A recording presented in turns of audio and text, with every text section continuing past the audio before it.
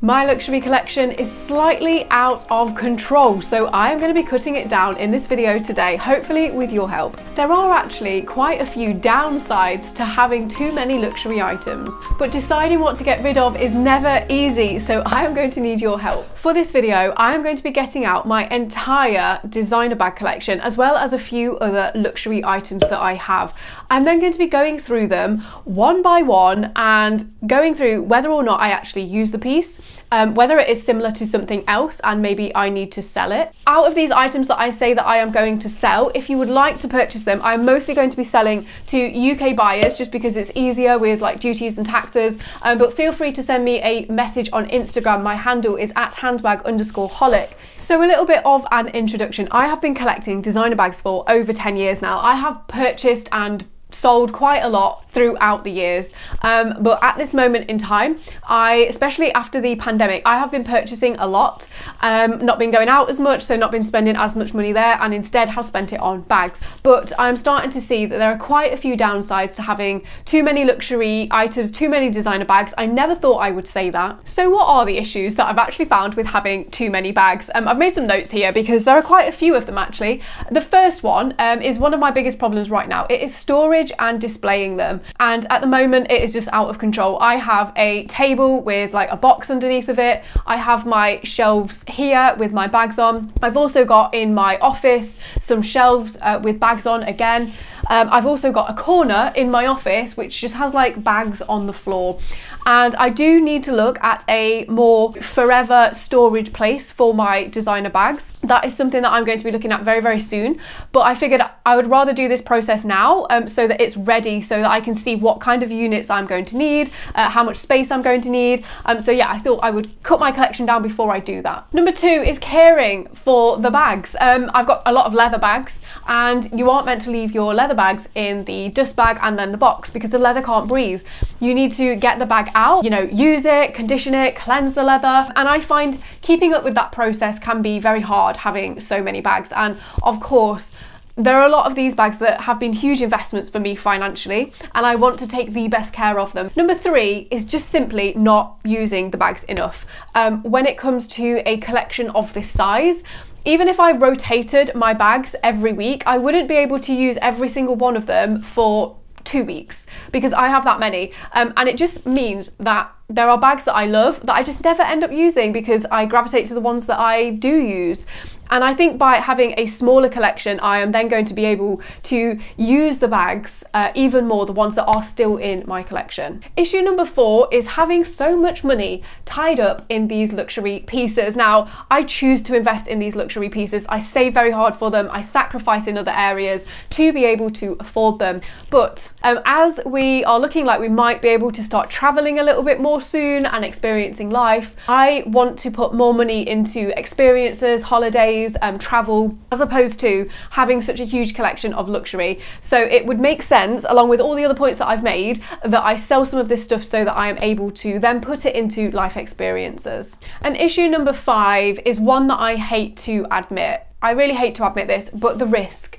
The risk of having so many high priced items um, in my house. Um, sometimes I don't keep them all at this one location, um, but it is very much a risk, even though I do everything within my power to make sure they are away uh, in locked rooms. The house is very heavily alarmed. It's still a risk, and every time I go out, I am always anxious to think, oh my gosh, what if something happens? Now, the way that I'm going to do this is basically I'm going to try and remove emotion from this because I love every bag that I've got, of course, otherwise I wouldn't have made that purchase in the first place. I'm just going to go with cold, hard maths. I am going to put 10 bags on this side. I'm going to take all these bags off 10 bags on this side that I want to keep, um, that I know I'm never going to get rid of, 10 over here that I am going to sell, 10 luxury items that I'm going to sell. Everything in the middle, I will maybe see that if I can put it onto this side or this side, see if I can try and get everything either a keep or a sell. Um, but I do know there are pro probably going to be a few pieces that I'm just unsure of right now and I don't like to make rash decisions. I do think selling 10 pieces off is already quite a lot. So I'm comfortable with if I can get to 10 pieces that I want to sell by the end of this video, I'm going to be happy. I can imagine there are going to be some people screaming along to this video like, oh my God, why are you selling that? Or why are you keeping that one? Comment below. Please do get involved. I am creating this video purely to get your guys input before I do make any like final decisions. And like I said, if you do want to purchase anything, because I know that's what I'm going to get quite a lot of, please message me over on Instagram. Okay, all of my bags are now out on display. I've never actually got them all out like this. They are taking up a lot of space right now, but I actually really like the fact you can kind of compare them all next to each other a lot more clearly. Um, so over here, I have my Givenchy, uh, some Chloe bags, a few Prada, uh, Mulberry there.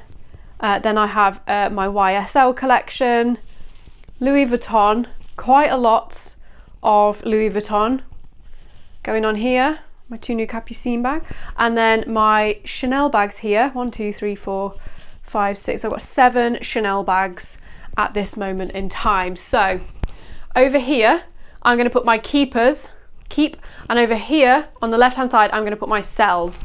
So the first thing that I'm going to do is pick out the ones that I 100% am going to keep. So for my most favorite bag, it is my Pearl Chanel boy bag. This is my like go-to bag for an evening. Um, this is definitely a keeper. That is my first bag that I am definitely keeping. The next one I know is definitely my um, Chanel Fur Boy bag. I also love this one and I just know that I'll never want to sell this. Okay, so that is two keepers. My next keeper is definitely going to be my black Chanel Business Affinity. I love this bag, I wear it all the time. And because it doesn't stand up, I have a little stand here to put it on. How cute is that? My first three bags. My next definite keeper is my actual everyday bag. This is the Odeon PM. Uh, it actually has my stuff in right now. The next bag is one of my most recent additions. This is the Capucines mini bag with the python handle. I love this. This, when I bought it, it was quite the investment. It's definitely a forever piece. Oh wow, it is so hard to pick. Um, my on the go, here we go. My on the go is one that I also know I'm never going to sell. So let me just put this one on here. The on the go is now there. And another one that I know I won't sell is my giant uh, Speedy bag, Speedy 30. And that one is on there now too. We are seven bags strong here. The next one might be a surprise to people, I'm not sure. But it's actually like looking at them all is my YSL uh, Loulou bag in the cinnamon suede. I love this one. And the next one will be my YSL Sunset bag in the medium size. I do use this quite a lot, so I definitely don't want to get rid of this one. Okay, so we have nine keepers here. I can't pick the last one. Um, I'm thinking actually, and this was one that I've been thinking about returning, um, is the Capucines Mini in the red. This is actually standing out to me um, amongst all the other bags. Believe this or not, the red capucine. So I'm going to come back to this one. I'm now going to start putting on here the ones that I don't mind or I'm thinking of selling. The first one is my Keepall 45 with the black leather. I've used this about three times um, and personally I just prefer like a wheel case. So this one is definitely going. The next one to definitely go will be my Chloe wicker bag. I do really like this, but you can't adjust the strap. So looking at these, um, my recent addition was the watercolour Speedy, but I thought this actually was a 30, not a 35, and it's a 35. So it's actually quite big. Um, and as much as I like the print and could get the leather changed on this one, I'm just not so in love with it. I prefer my Giant on the go. So to be honest, I'm happy to put this on the shelf as well. The next bag has got to be my Capucines BB bag. I did say that if I was to keep the mini, which I love more, I would sell this one. So as much as I do actually like the BB bag, uh, that one is going to have to go. My next one hmm, might have to be my Mulberry. I love this. This is the new Alexa. As you can see, I haven't used it, um, but I've just purchased this pink Business Affinity from Chanel. Uh, what does everyone think out of these two? I actually prefer the colour of this one. Um, this one is quite a bit lighter but I just love the BA bag so much that this could go towards funding that one. So I might have to put this one over here too, as much as I think it's really beautiful. Okay, so picking the last few to sell is so hard. I've got one, two, three, four, five. I need to find five more items to sell because we are doing this by the number. The first item uh, actually is going to be, out of these five, uh, my Capucines purse. I think this is the most beautiful purse, but it's full size and I actually never use it because it doesn't fit in like most of my bags and I like to actually use a small one. So I will sell that one to fund a smaller one. The next bag actually might have to be my Givenchy Infinity Bucket bag. I love this bag. It's so edgy with the like chain down the side. Like I really don't want to sell this one, but I have like never used it. Um, and you can't crossbody it, you can only shoulder the bag. So that one there might have to go. Another one heading over to this side of the room oh, I hate this, would actually be my grey boy bag.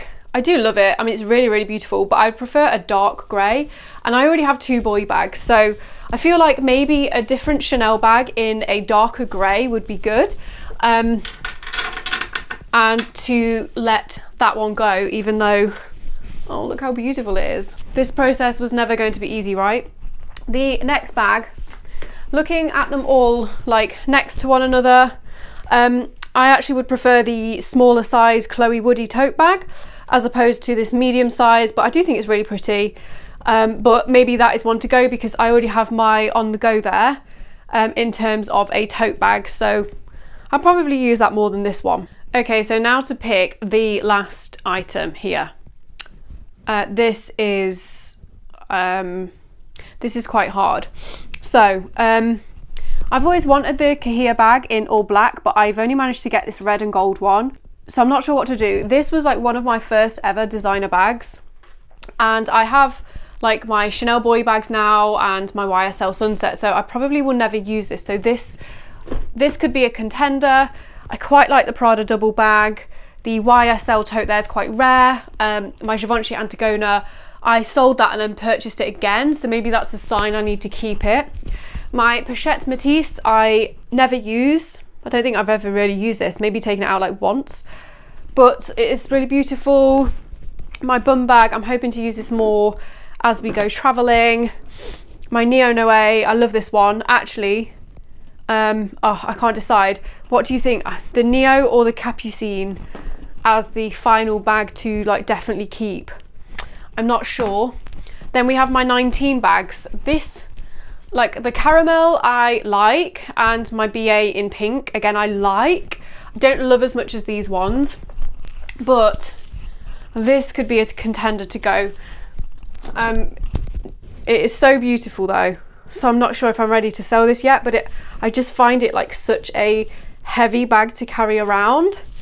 Maybe that is just a keep for now and maybe get rid of in the future. This is so hard. I'm literally not sure which bag. Either the Heavy 19, um, the YSL that I never use, the Dentelle as well, the Speedy Dentelle. I'm not, I do like that, but again, I like my Giant on the go more. So do I just, do I get rid of that one because I never use it? Okay, I've decided. Look at this red. Oh, I think I think I love it. So I think that's going to have to go as my final bag that I am like 100% keeping. so pretty. What beautiful, beautiful collection of bags. I'm loving that. I feel very sorry about my grey boy, but it's got to happen, hasn't it? Now, I know a lot of you will probably kill me for this because a lot of people don't like the Kahia um, and will probably like, like this YSL so much more. And I do really I do really love this bag. It's got some sentimental value to this bag. However, like I said, I just use my Sunset or I just use my Chanel boy bags as opposed, and it's quite similar kind of to um, my boy bag with fur.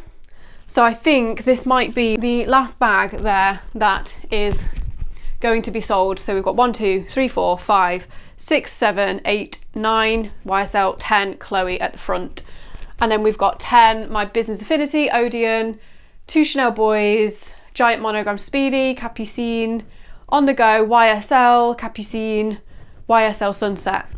The bags that I have not put in a category, my Givenchy Antigona in the medium size. Do you know what, I could actually get that in a small now that I can't carry my laptop in it. Okay, we're gonna change. I'm gonna take this back.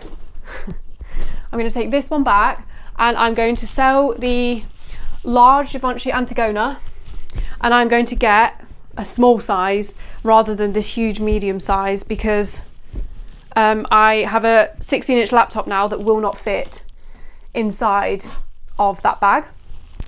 Okay, yep, I'm happy with that. So the ones that I haven't, this YSL tote bag, Prada double, Kahia, YSL, Pochette Métis, Neo Noe bucket bag, bum bag, Dentelle, Neverfull, Lock Me uh, backpack, my new BA in the pink. I'm still not sure about this colour though.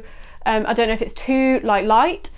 Uh, my Chanel 19 in caramel and the large 19. The large 19 will probably go at some point, but it is quite heavy, but I, I still really like the look of it.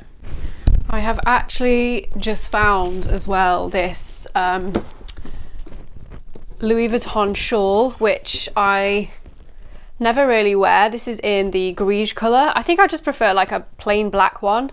I do like the grey, but again, I struggle with grey and styling it, so I'm gonna let that go. So this is my 11th luxury item that is being added to the pile to go. And also, uh, these Christian Louboutin shoes, I love these, but I know that I will never ever wear them. These beautiful, um, beautiful, beautiful glitter. I think this is called Dragonfly uh, shoes here. Yep, I've never worn them, look. And I've had these for like quite a long time now. So maybe I've got two other pairs of Louboutins. Um, I think it might be time to let these sparkly ones go. So I'm gonna add them, I'm gonna be good. I'm going to add them to the pile as well. So I've now got, this is what is going.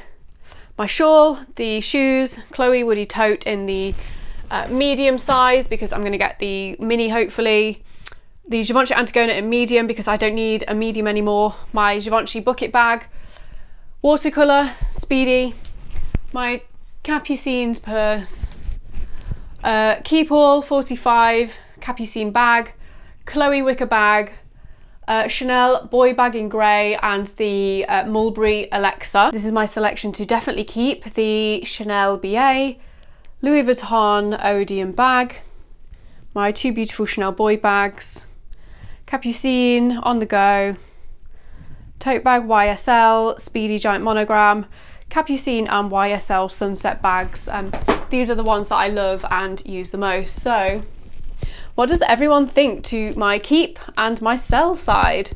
I'm quite happy with that. Obviously, I would be sad to see some bags go. Um, but obviously selling makes room for uh, nicer ones that you like even more. So this is a nice process. I have enjoyed going through it. Okay guys, that was one epic video of decluttering. Um, I feel cleansed. However, um, I now feel like I've got a lot to do. I've got quite a lot to uh, photograph and sell off, and now I have a few, like the pieces that I am keeping, how do I display them? Um, I'm going to be looking at some display units soon, which I will document in a video so we can all go shopping together. Let me know what you think to my choices, like I said, in the comments down below. Um, and I advise anyone else that's maybe feeling like, you get to the point where you obviously love all your luxury designer pieces, uh, whether that's bags, shoes, whatever that is, um, but they're starting to feel a bit more like clutter as opposed to things to enjoy. And they're starting to take up space and just you know, it just feels a bit too much sometimes. Um, I think having less but better is definitely the way to go. And feel free to steal my trick of setting yourself a number as opposed to anything else because a number is cold, hard, it's just a number, this is how many pieces I want to sell, as opposed to anything else like setting a number of how much money you want to raise. I think number of items is the easier way to do it. Make sure you don't go anywhere because coming up next, I will link my latest video release here for you. And over here, my 11 most expensive purchases. Do I now regret any of them?